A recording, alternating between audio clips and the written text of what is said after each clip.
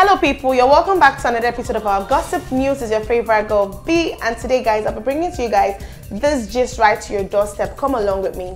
May little child return back to social media after the much needed break she had to take since the passing of her son earlier in March, Kambili Chukwume. He's so rest in peace. So apparently there are rumors right now that she's divorcing, she's taking Yul to court and Yul doesn't want the papers. He doesn't want to sign the divorce papers. But she already stated previous to one of her posts when the news broke out of him having a child with another woman whom he took as a second wife, Judy Austin Edochie they are married already. So when the news broke out, she publicly said that she has nothing against polygamy. In fact, so many religions don't frown at it, but she as a person has refused to be numbered and wants no part in it. So apparently, I'm sure that with the um, sudden passing of her son, it kind of made her take some steps back. Like instead of, you know, she had to mourn a child. Losing a child is not something that is easy. It's not something that you can just get over. It's something that over with time, you tend to like, you know, get used to it. So we really we're really hoping for the best for her and hoping that she comes out strong.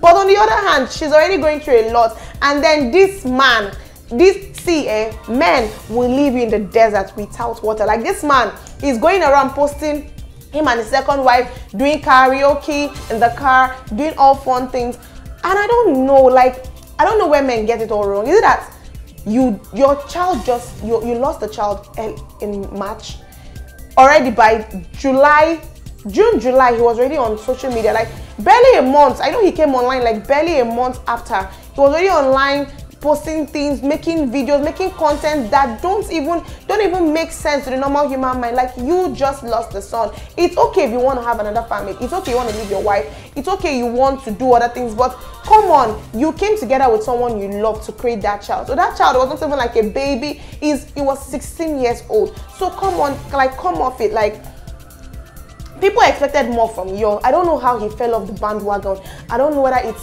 because people are saying this is not normal, that it's jazz. And I, I, I don't know. You wouldn't be wrong to think so because which man, even if you hate that woman now, but that is your child, your first son. Your first son.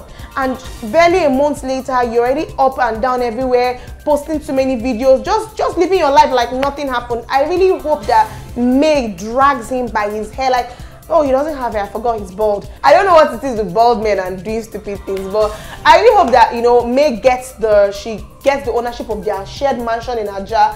I hope she gets full custody of her kids. I don't want them, you know, with that. I personally don't want them around that toxic environment he's creating with his new wife, someone that does not know, just like the blind leading the blind. The woman can't tell you that, oh, it's too soon for you to be posting this, oh, we can't be doing this, oh, we can't be doing. Nobody's not like nobody's advising anybody, nobody's leading each other. It's just like two stupid people doing stupid things. That's just the way I see it. So I don't know. I really hope that May really wins in this court proceedings because it's glaring to all of us. So I'm sure it's not going to be hard bringing evidence to the courtroom because this is something that played out right in front of us. She got to find out from a media blog on social media that her husband is taking a second wife. This was nothing. He never sat down to discuss this with her. He never had an agreement. That was why she reacted the way she did. And that's why so many people are behind her, rooting for her and supporting her through this audio because it's not it's not every day you wake up and a man you're, you're, you're living under the same roof you've shared over 18 years of marriage you wake up one day on social media seeing that he's posting another woman and a child that he has a, that she gave birth like i don't blame people that say this is jazz because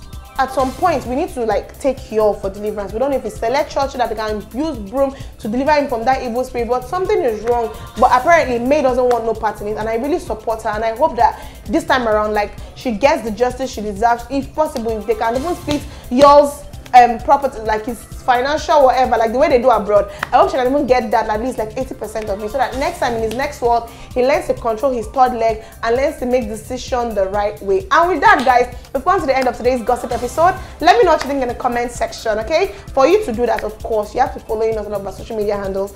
On instagram we go by e.com underscore official. For Facebook and YouTube, we go by e.com official. And for Twitter, we go by EDOTCOM01, all in lowercase alphabet. I remain your favorite girl, B. Bye, guys.